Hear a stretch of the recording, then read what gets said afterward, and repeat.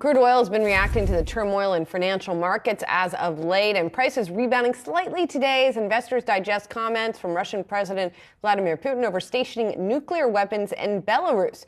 That's seemingly outweighing weaker data out of China. Let's get a sense of the direction from here with Paul Sankey, Sankey Research Lead Analyst. Paul, it's good to see you. I mean, you know, we, we're still seeing prices that are way below where they were. You know, we, we've seen the trend remain lower. Do you think it stays that way, though?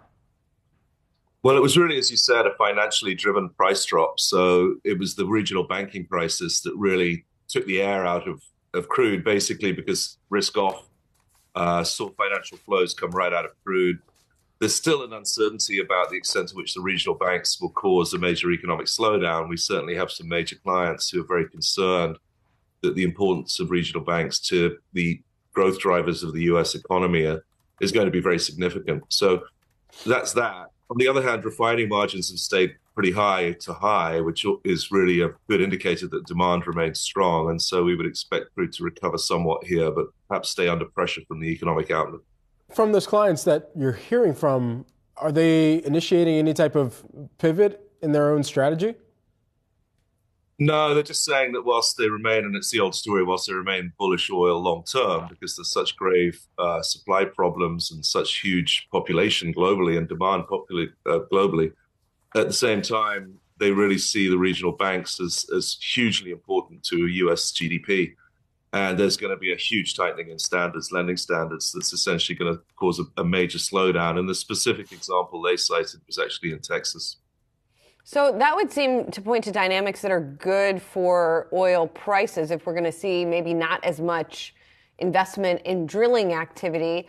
Um, is that what is that going to mean though for the companies themselves, right? If you can't borrow as much to drill as much to produce as much oil, maybe it's not as great dynamics for the oil companies. We, we don't really see it, it having an effect on oil supply, actually, the hmm. regional bank crisis, because the oils have paid down so much debt and uh, uh, their activity is within their cash flows, even at this lower price. So others have been saying, you know, this uh, Silicon Valley Bank could have a major effect on investment in the Permian, and, and we just don't see it at all. The, the, balance sheets are in awesome shape, and they're going to keep the activity up. So it does. It's not a particularly bullish uh, outlook at the moment, based on the regional bank crisis.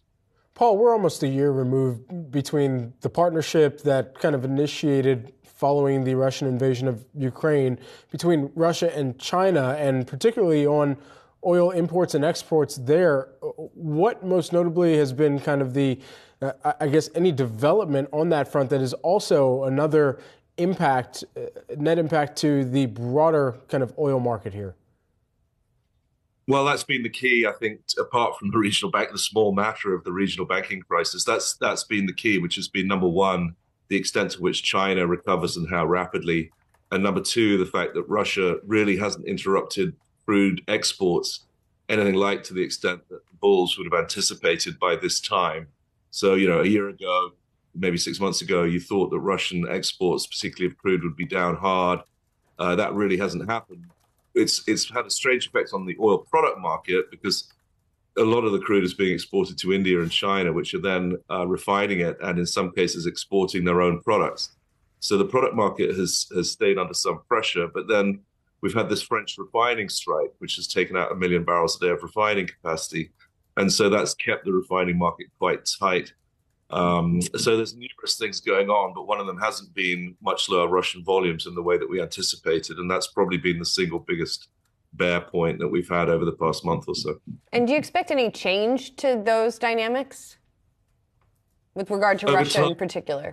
Yeah, sure. Over time, Russian inventories are rising, and that over time is going to cause them more and more problems, essentially. And, and exporting products, especially from the north, is very difficult for them because you're trying to replace uh, pipelines with with tankers that can only get into relatively small ports. So there's definitely an issue with Russian exports, and they are likely to decline over time. So most people are very bullish on the second half of the year. They see Chinese aviation, Chinese economy strength combined with weaker U- Russian supply, no growth in the US supply, all com- contributing to what could be a very strong second half.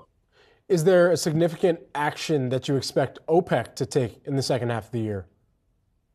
Been a bit of a mystery because, of course, they announced a 2 million cut, which was a shock, but it was more of a message to the Biden administration than any real effect on exports. So that was another head fake that the oil market uh, had to face, was they said they'd cut 2 million and they kind of didn't, especially on the export side.